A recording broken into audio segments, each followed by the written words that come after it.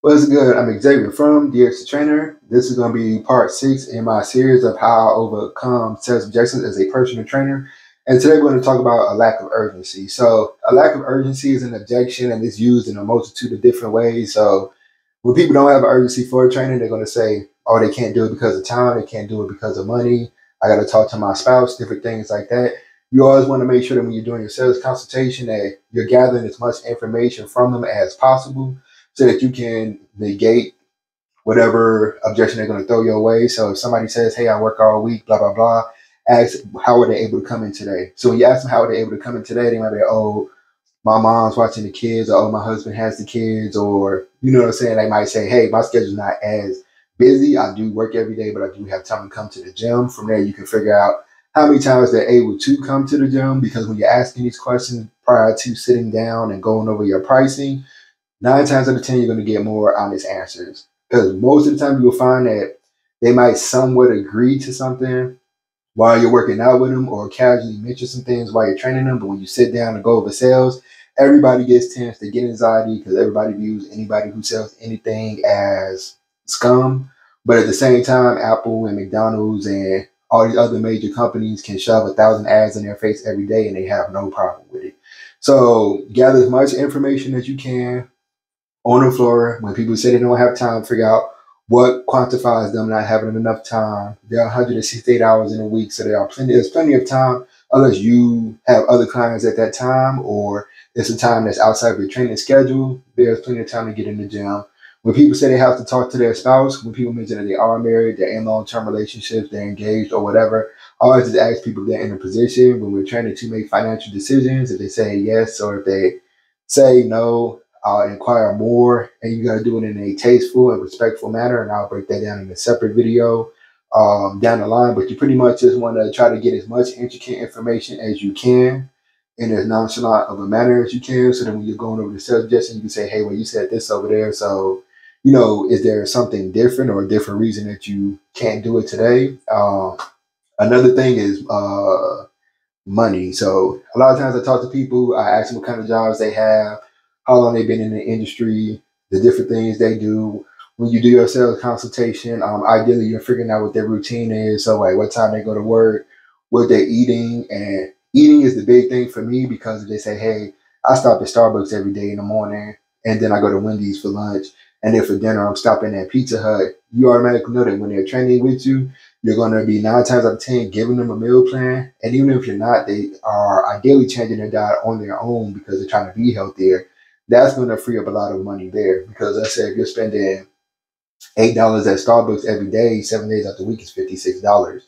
So at the end of the month, you're easily spending over two hundred dollars on something that could be allocated towards training. So you need to you could theoretically modify what you're eating at Starbucks, or because I'm going to be giving you high energy protein shake recipes that you can make at home, that's going to be something else that's going to mitigate that expense as well. And in addition to having a meal plan for lunch and other various things that they're spending their money on, most of the time, those unhealthy habits are things that they have to change anyway. So, outside of that, uh, in terms of urgency, you got to keep in mind that sometimes people are reluctantly coming in to the gym, and it could be for a number of different things.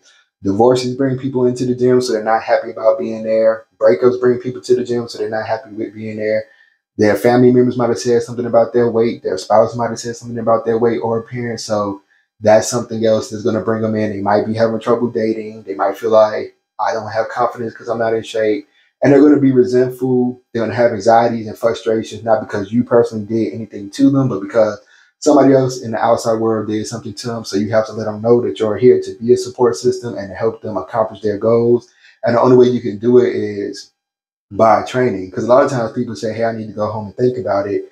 And I'm always honest with people. If I have my schedule open. I'll show them my other consultations and I'll show them that other people are willing to train at that time and I'm not making it up because even if let's say you're not busy, you're a new trainer and you're not busy whatsoever, you can only work a certain amount of hours in a day. And I had this happen to me. I'll still have it happen to me to this day. I wouldn't say in the past, but this is the current thing that I'm having. I'll tell people that, hey, somebody else wants that time. And especially if it's a prime time. And what I consider prime times is from five in the morning to nine in the morning, And in the evening time, from as early as three to as late as nine, those are times people want to come in because people want to come in before their kids are up or after their kids get out of school. People want to come in before work or after work. And, you know, it's just a number of different reasons why those times are prime times because those times are usually easier for most people to get in. Usually in the dead space of time, like that's when you're going to have older clients like training at 12 in the afternoon. It's either going to be people on their lunch break, retired people, people on unemployment, or people who have jobs where they really don't have to. They might work the night shift or they can control their schedule so they can come in and train when they want to. And I'll let people know like if it's a prime time slot that I have open at nine times out of ten, if you really do want to train and you really have to check your budget or you really have to do other things when you come back, somebody else might have that time, so you're gonna have to pick another time. And uh, the reason I do that is because nine times out of ten, you can save and sell, and then you can have somebody in that time slot. Because what happens is, let's say I talked to Miss Smith last week. I told her, hey, 5 a.m. Monday, Wednesday, Friday. That's the time that recently just opened up, and it's one of my most popular times that people want to come in and train because it's hard to get trainers to come in and train at that time. Because any trainers in the gym at 5 a.m if they're not working with a client or doing a group class, they're probably training themselves so that they can have the rest of the day to work with their clients and they're not trying to pick up any additional clients. So let's say I explain that to her, that time is open. She thinks she has all the time in the world to pick that time. And two or three days after I train her, somebody else booked that time and they have that time booked for the next six months. Uh, most of the time, Mrs. Smith was mad at me people said mean text because they didn't pick the time that was open when it was open, even though they had the means to uh, pick that time. So it's always important to establish a sense of urgency, especially if you're a new trainer and you're offering a discount or a sale to get people in. With me personally, if I offer a sale, whenever I offer that sale, that price is good for as long as you train with me. If you, for whatever reason, cancel your training, I don't charge fees for canceling training. It's a pay as you go as long as you give me a notice.